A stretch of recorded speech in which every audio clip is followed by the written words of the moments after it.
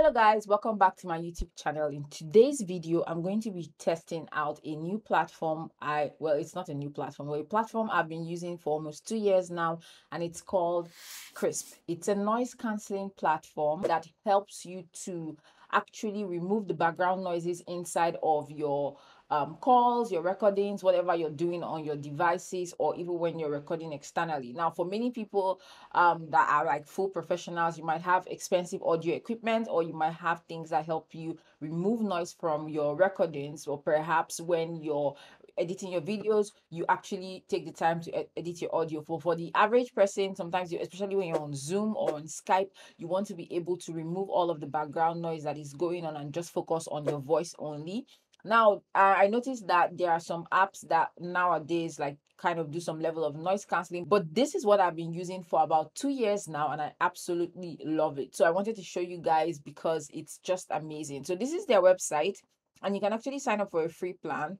And to show you like a real life practice, I'm going to show you different kinds of audio that I'm going to test out today so that you see what I'm talking about. Guys, okay, so right now I have my neighbor carrying out their lawn they're kind of cutting their lawn. So i wanted you guys to hear what the level of noise is at the moment and um, see what i'm talking about. So this is the amount of noise that is in the background right now. And i think this will be perfect because i just finished my zoom meeting with my team and i was asking them if they could hear this noise and they said they couldn't hear anything so this sounds like without Krisp. I'm recording it straight off my phone as well as on my laptop. I'm going to compare the two sounds to see how much each device can pick up.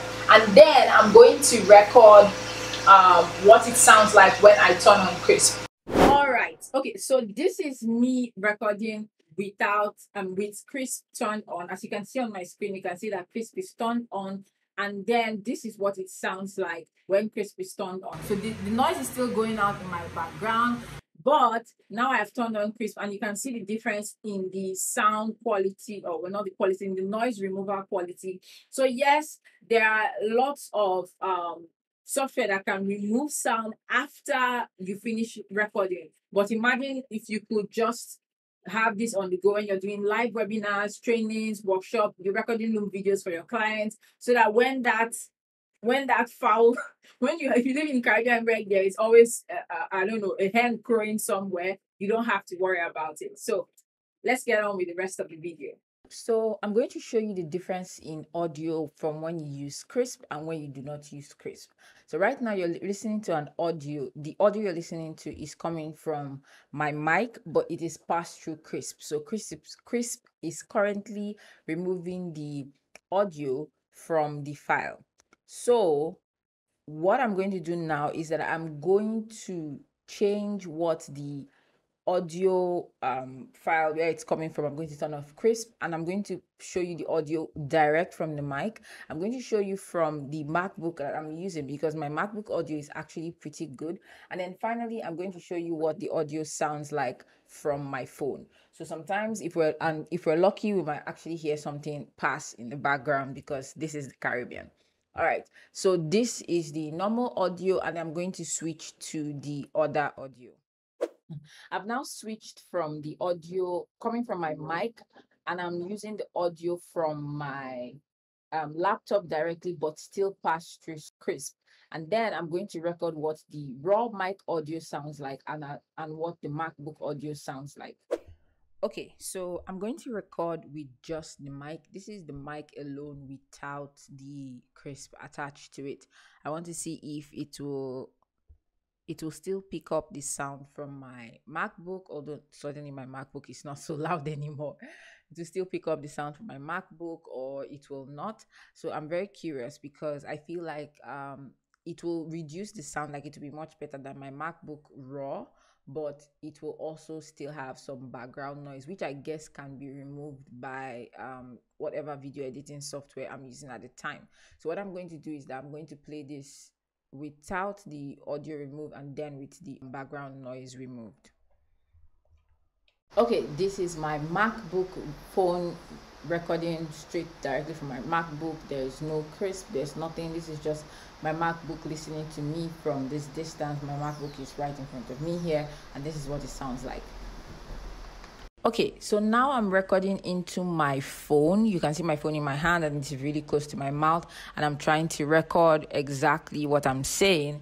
I'm going to move the ma- uh, phone farther away so that we can see if it can still pick up the noise. I'm just using like a normal voice recording here and then I'm going to bring it back and let's see how this sounds like. Okay, so I'm finishing out this video using the Q9 through Krisp because I feel like it gives it that richness because it, to me when I listen back to the audio, when I remove the background noise manually from my ed- editing software, I I kind of lose some of the richness of the audio and it starts sounding a little nasal. Um, but when it passes through Krisp i like the quality of the audio. The only complaint i have for this mic through Krisp is that it kind of lowers the volume and i don't know if that has to do with like where my mouth is facing when i'm recording um the videos but i'm going to see what i can do to improve that. So i think it will be much easier for me to just increase the volume of the audio inside of the software rather than increasing the um, quality of the audio because I'm not really good at audio editing at the moment and it will take much work, more work for me to edit the audio quality than to just edit the um, loudness or the volume of the audio. So that's it. I highly recommend Krisp, especially if you live in places that are noisy. We are currently building right here and I've actually recorded with Krisp in the middle of heavy downpour Caribbean things. So if you're struggling with lots of noises, if you live in places with plants, um, like generators or cars passing or loud music, is very very helpful. And they have a free plan that you can sign up for. And if you feel like you need more than the free plan offers, then you want to switch to the paid plan. So that's it for this video, guys. Don't forget to like and subscribe, and I'll see you in the next one.